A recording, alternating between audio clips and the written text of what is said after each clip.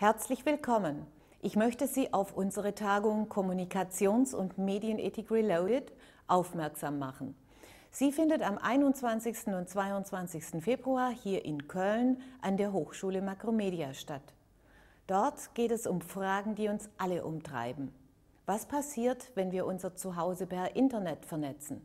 Was nützt es uns, wenn Techniken sogenannter künstlicher Intelligenz aus Datenmassen Erkenntnisse über uns aussortieren?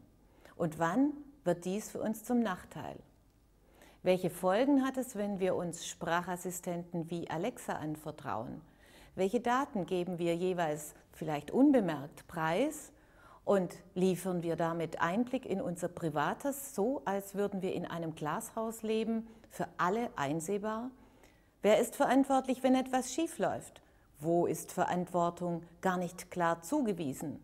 Woran sollen wir uns in der digitalen Gesellschaft orientieren, um selbstbestimmt zu gestalten, wo wir privat bleiben wollen oder wo wir neu oder speziell in der Verantwortung sind?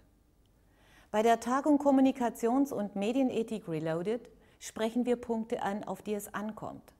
Die Referierenden halten teilweise Antworten bereit, teilweise Analysen, die uns zeigen, wo Handeln ansetzen kann und bei wem. Das gelingt nur, wenn Praktiker und Forschende jeweils aus ihrem Blickwinkel nachdenken und dann ihre Erkenntnisse zusammentragen. Deshalb bauen wir bei der Tagung Kommunikations- und Medienethik Reloaded weiter an der Theorie-Praxis-Brücke. Wir schauen also auch, was Forschende und Praktiker voneinander lernen können und wie sie gemeinsam für mehr Orientierung in der digitalen Gesellschaft sorgen. Die Tagung findet dieses Mal erstmals in Köln statt, also ebenfalls wie bei unserem traditionellen Ort München in einer der Medienstädte in Deutschland. Gastgeberin ist die Hochschule Makromedia. Sie versteht sich als Hochschule des digitalen Wandels und bindet Ethik gerade insbesondere im Journalistikstudiengang als Querschnittsthema ein.